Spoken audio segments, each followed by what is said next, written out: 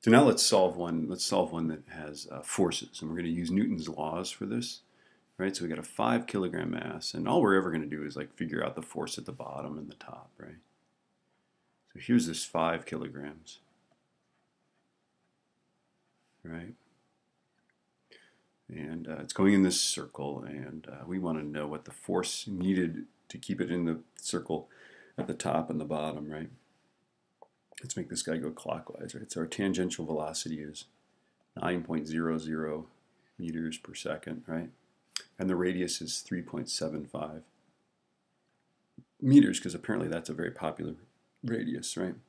Uh, the first thing I'm going to do is I'm going to figure out what my centripetal acceleration is, right? Since, since I've got the velocity and the radius. Okay, let's just do that. So that's going to be uh, v squared over r right? So that's going to be 9.00 squared divided by 3.75.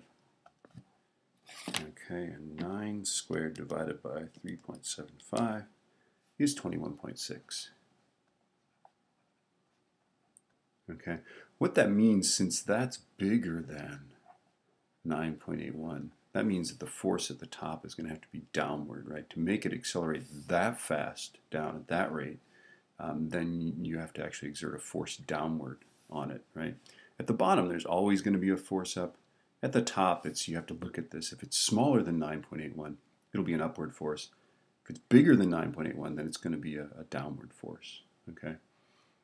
And uh, let's see, I think the other thing we need to do is figure out the force of gravity, right? So weight is m times g, so that's going to be 5 times 9.81, right? And that's 49 0.05 uh, newtons of force, right?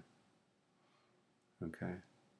So now we are all set. Now we can set up our F equals ma. Let's do one for the top, right? Let's do one for the bottom.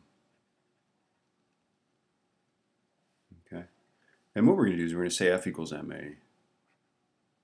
But of course, F has to be all the forces acting on it, right? Okay. And so uh, if we look at the forces, we're switching to red now, okay? If we look at the forces acting on this thing at the top, there's going to be the tension, and we sort of know that the tension is going to be down, but we'll just say, you know, we'll just say the unknown force, right? But there's also the force of gravity, and the force of gravity is going to be down, and that's going to be 49.05, right?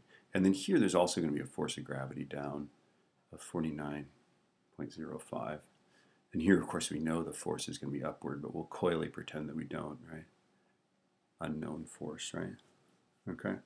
And so um, what this becomes then is at the top, we go unknown force, and then gravity is, of course, down. Right? And that's those are the only two forces we got is, is uh, is gravity down and the unknown force, which we, we know it's going to be down to make it accelerate that fast down. And then we say that equals 5 times, and here's, here's the, you know, where we got to apply our brain. When you're at the top, this acceleration right here, okay, that's toward the center. So our acceleration is actually down, right? So here you've got to make that negative 21.6, right? And now we can solve this, right? 5 times negative 21.6 plus 49.05 ends up being negative 58.95, right?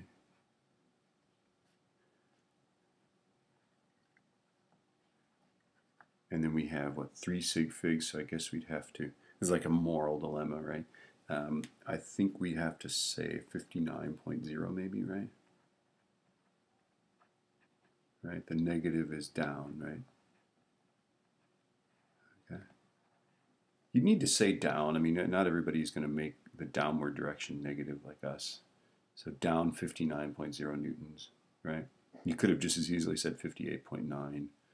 There's no hard, solid rule that we always have to round 0.5 up. Anyway, uh, and then at the bottom, we're going to use F equals ma, right? Our forces are well, the unknown force, right? It's going to be a different force. This is a different force from that, right? Uh, gravity is still down. because it defines the direction down, right? And then this is going to be 5.00 times, and then at the bottom, the center, right? We're moving this way, but remember we're accelerating always toward the center, and at the bottom, the center is above us, so we're actually accelerating up 21.6, right? Right, so now I'm going to go 5 times 21.6 plus 49.05 to solve that. 157.05 comma f equals uh, 157.05 right and then we only have three sig figs so I guess we have to say uh, 157 newtons up right